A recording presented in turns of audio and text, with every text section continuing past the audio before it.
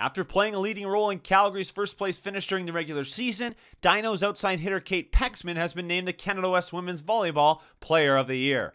The third year engineering student was named as the conference's top player Tuesday as she and the Dinos get set to host the Canada West Championship game this Friday against the UBC Thunderbirds.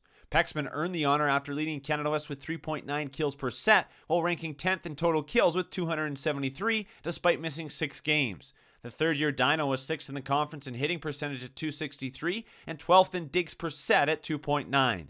Joining Pexman as award winners is teammate Brianna Solberg, UBC's Kiera Van Ryk, and Regina's Melanie Sanford. Solberg is a Student Athlete Community Service Award winner thanks to her lengthy academic and community service resumes. The art student is currently working on her honors thesis while balancing a host of volunteer work, including time at Calgary's Mustard Seed, where she serves breakfast regularly before classes.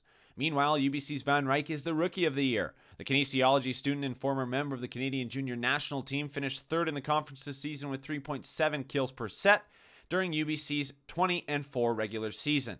Rounding out the major award winners is Regina's Melanie Sanford, who's the coach of the year after leading the Cougars to a 9-win improvement this season to finish 12 and 12. All Canada West Award winners will now move forward as the conference nominees for the U Sports Awards, which will be handed out at the national tournament slated for March 15th through 18th at Université Laval.